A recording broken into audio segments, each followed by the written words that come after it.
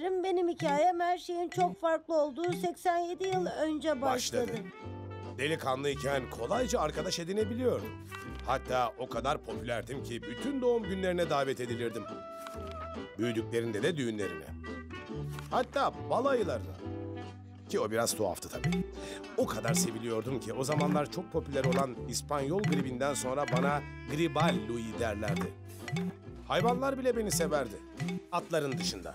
Atlara hiç güvenmezdim. Yüzleri çok uzun ve kızıl derili saçları var. Okulda da o kadar popülerdim ki öğretmenlerle bile arkadaş olmuştum. Birbirimize çılgın rumuzlar takardık. Bay Klein ya da efendim ya da bazen kazara baba gibi. Büyüdükçe her şey daha da iyiye gitti. Jojo ile tanıştım.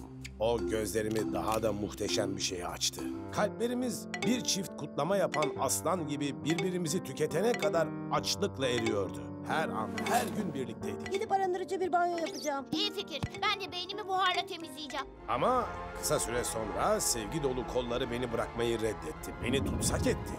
İnce parmakları şimdi asla kaçamayacağım gösterişli bir kafesin demir parmaklıkları oldu. Neyse benden bu kadar yeter. En sevdiğin yemek ne? Yiyecek. Dinle gitmeliyim. Tamam telefonunu da al. Mesajlaşmaya devam edebiliriz.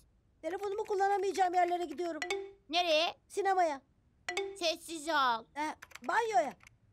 Kamera kapalı durumunu alma. hiç pes etmiyor. Ne yapacağız? Bilmiyorum. Ona yardım etmek isteyen sen. Ne? Muriel fikrini atan sendin. Haklısın. Suçlu Muriel. Hayır suçlu sensin. Ona doğruyu söyleyip bize yaşımıza uygun olmayan şeyler söylemeye başlamadan önce bu işi bitirelim. Buluşmamız gerek. Bilmen gereken bir şey var. Senin de bilmen gereken bir şey var. Bir arkadaşa ihtiyacım olduğunu sanıyordum. Beni sabırla dinlemen başka bir şey fark ettirdi. Muriel, bence biz Elmore Plus arkadaşlarından fazlasıyız mı? Merhaba balkabağım. Seni görmemiştim. Suçlu görünüyorsun. Ne? Aha çok tuhaf çünkü vicdanım o kadar temiz, o kadar lekesiz ki. Yalan söylüyorsun. Yalan söylerken gözlerin hep sağa bakar bilirim. Hayır söylemiyorum.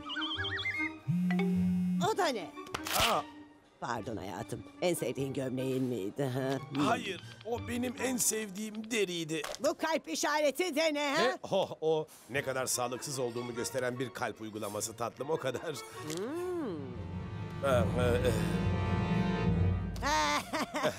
Seni aldatırken yakaladığımı sanmıştım. Aynen ben de öyle bir anlığına Muriel'la bütün mesajlarıma bakacağını sanmıştım. Muriel mı? Muriel da kim? Elmore Plus arkadaşlığından fazlası olmak istiyorum. Gerçek hayatta buluşalım. AVM'de saat 2'de. bir dakika açıklayabilirim. Ne yapıyorsun? Neden onunla buluşmak istiyorsun? Çünkü suçumuzu itiraf etmeliyiz. Muriel, 90 kilo öfkeli bir kemirgenin üzerinde elbise elinde balyozla sana doğru bağırarak koştuğunu görürsen lütfen önünden çekil. Bu genellikle iyi bir tavsiyedir ama bu özel durumda muhtemelen kırın peşindedir. Bekle sorun yok. Muriel gerçek biri değil. Onu sen uydurdun. Profil fotoğrafını nereden almıştın? Aa, internetten rastgele. O pekala. Bir komik bir de pek komik olmayan bir haberim var. Önce komik olan lütfen. Fotoğrafları araştırdığımda fotoğraflar beş tavukları çıktı.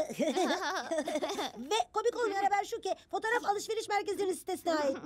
Orada çalışıyor. Jojo bak seni incitmek istememiştim lütfen. Elbette istemedin. Camını kapatabilir misin canım? Elbette neden? Oh, İçimde nasıl hissettiğimi dışarıdan hissedebilirsin diye tabii. e, e, peki şimdi ödeştik mi? Evet E, ödeştik. Ama Muriel'la ödeşmedim henüz.